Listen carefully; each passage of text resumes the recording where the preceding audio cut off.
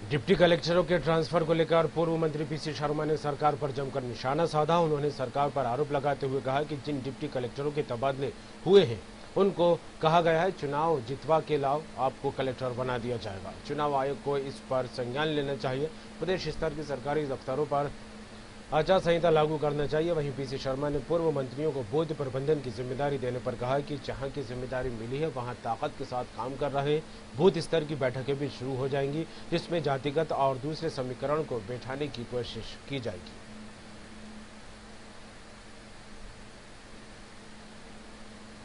तो आरोप है, धोखाधड़ी है? भाई आप आज वो लागू हुई नॉमिनेशन शुरू हो रहे हैं। इस समय स्थानांतरण उन्हीं क्षेत्रों में। ये पूरा बीजेपी दो ही खेल कर रही है। प्रशासनिक अधिकारियों पर प्रेशराइज कर रही है, उनको लालच दे रही है।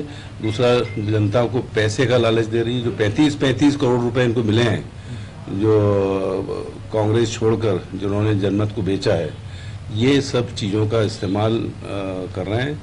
लेकिन ये कुछ भी कर लें जनता में असंतोष है कि उनका जो अधिकार था सरकार बनाने का, उसको इन्होंने पैसों से बीजेपी ने खरीद लिया और 25 लोगों ने अपने आप को बेच दिया सरेआम 35 35 करोड़ में। इसलिए नारा एक ही है, बिकाऊ नहीं टिकाऊ चाहिए, गद्दारों की नहीं, कमलनाथ जी की सरकार चाहिए और कमलनाथ जी की सभाओं में जो भीड़ उमड़ के आ रही, सुनने के लिए आ रही है। इतना दबाव पड़ा कि ये सरकार को कहना पड़ा कि अब सौ की लिमिट बंद कर दी इनने। तो